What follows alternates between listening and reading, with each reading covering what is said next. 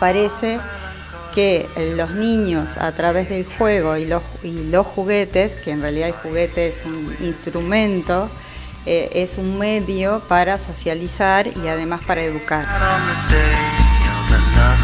La responsabilidad básicamente es de los adultos, digamos, ¿no? De que, podamos inducir a qué tipo de, juego y qué tipo de juguete consuman las generaciones futuras. Eso va a determinar cómo la ciudad de Paraná se va a relacionar en el 2020, en el 2030, justamente con los valores que le forjemos a, nuestros hijos en, estos años.